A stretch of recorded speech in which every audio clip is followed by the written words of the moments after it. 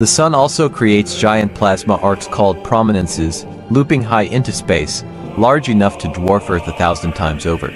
Some of this plasma eventually falls back as coronal rain, except unlike Earth's rain, it's millions of degrees hot.